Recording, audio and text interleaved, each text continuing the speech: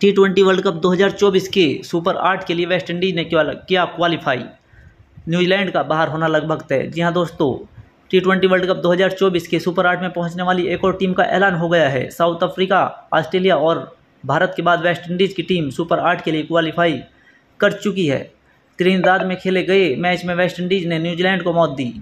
इसी के साथ टूर्नामेंट की मेजबान टीम ने ग्रुप सी के सुपर आठ में जगह भी बना ली। जबकि न्यूजीलैंड के लिए सुपर आठ में पहुँचना लगभग नामुमकिन सा हो गया है। हालाँकि थोड़े बहुत चांस टीम के हैं सुपर आठ में पहुँचने के।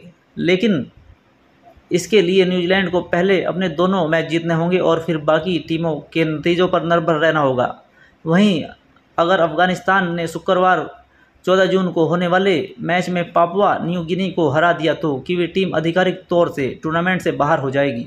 सुपर आठ के क्वालिफिकेशन के नज़रिए से ग्रुप सी की पॉइंट टेबल पर नज़र डाले तो वेस्टइंडीज़ की टीम तीन मैचों में जीत दर्ज करके सुपर आठ में पहुँच गई है। वहीं Afghanistan, Uganda, Papua New Guinea और न्यूजीलैंड में से कोई इस ग्रुप में सुपर आठ के लिए एक टीम पहुंचेगी।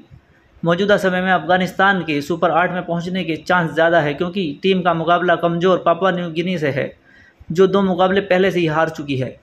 इसके अलावा एक मैच वेस्ट इंडीज़ से है। वहीं युगांडा पीएनजी और न्यूजीलैंड का नेट रन रेट भी बहुत घटिया है। ऐसे में अगर अफ़गानिस्तान की टीम अपने दोनों मुकाबले करीबी अंतर से हार भी गया तो सुपर आठ में पहुँच सकता है। त्रिनिदाद में खेले गए मैच में वेस्ट इंडीज़ की टीम ने पहले बल्लेबाजी करते हुए एक सौ उनचास रन बनाए। यहाँ तक कि टीम के नौ विकेट अट्ठारहवें ओवर में ही गिर गए थे। उस समय टीम का स्कोर 112 रन था, लेकिन सैरफन रदरफोर्ड ने आखिरी दो ओवर में अकेले सैंतीस रन बनाए और मैच पलट दिया। वहीं जब टीम न्यूजीलैंड की टीम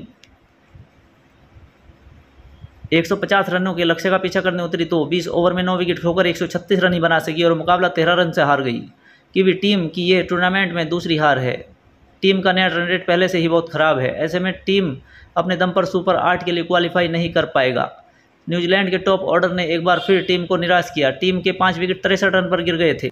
इस मैच में वेस्टइंडीज़ की ओर से उनतालीस गेंदों में दो चौके और छः छक्कों की मदद से अड़सठ रन बनाने वाले सैरफन रदरफोर्ड को मैन ऑफ़ द मैच से भी नवाजा गया। वहीं न्यूजीलैंड की तरफ़ से ट्रेंट बोल्ट ने तीन विकेट, टीम साउथी और लोकी फर्गूसन ने दो दो विकेट निकाले, जबकि कीवी टीम 150 रनों के लक्ष्य का पीछा करने उतरी तो टीम को अच्छी शुरुआत नहीं मिली। हालाँकि ग्लेन मैक्सवेल 40 और मिचेल सेंटर 21 रन बनाकर थोड़ी उम्मीद जगाई, लेकिन अलजारी जोसेफ के चार विकेट, गुड़ाकेश मोती के तीन विकेट की बदौलत वेस्ट इंडीज़ को जीत मिली और टीम लगातार तीसरा मैच जीतने में सफल हुई।